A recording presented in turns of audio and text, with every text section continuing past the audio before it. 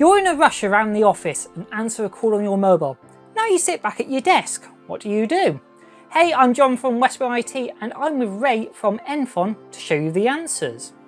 Ray, you've got a pretty cool feature for people with multiple phones, like desk phones and mobile apps, to let you jump the call between them. Can you show me how that works? Yes, John, because you can have up to nine devices all allocated to you in Infon.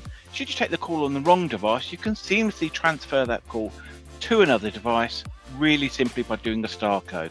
As an example, I'm on my way into the office, I'm on my mobile phone, I sit down at my desk, and I realise I really need to take the call on my desk phone. I simply go to the desk phone, do a code, and the call, call seamlessly transfers to that other device. Similarly, if you want to do it the other way, you can move the call between any of the nine devices if you want them. And you can also transfer calls to another extension if you need somebody else to take the call.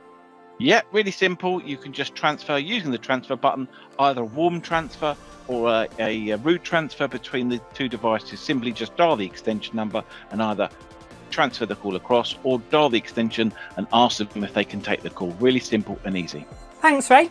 If you've got questions about VoIP and phone systems for your business, let us know. I'm John, and I'll see you next time.